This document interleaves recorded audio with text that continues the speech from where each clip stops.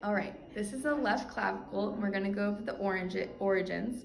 This is the subclavius and the clavipectoral fascia. There's sternohyoid, pectoralis major, deltoid, and then the insertion of the trapezius. This is a left scapula. We're gonna go over the origins.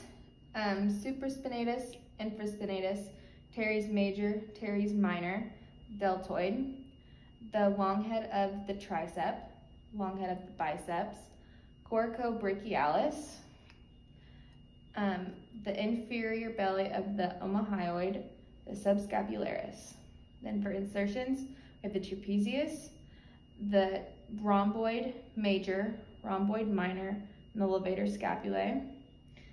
Um, we have the pectoralis minor and the serratus anterior.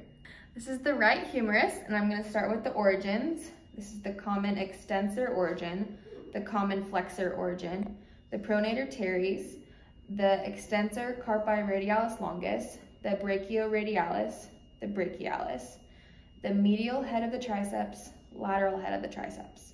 Then for insertions, this is the deltoid, the um, cor coracobrachialis, the pectoralis major, latissimus dorsi, and teres major. The teres minor, infraspinatus, supraspinatus, and the subscapularis. Okay, this is the left ulna, and we're gonna start with the origin. This is the flexor digitorum superficialis, this is the pronator teres, and the supinator. This is the flexor digitorum profundus, the pronator quadratus, the extensor indicis, extensor pollicis longus, abductor pollicis longus. Um, and for insertions, this is the brachialis, the triceps, and then the anconeus. This is the left radius. I'm gonna start with the origins.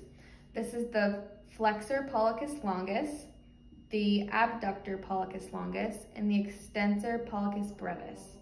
For the insertions, we have the biceps, the supinator, pronator teres, the pronator quadratus, and the brachioradialis.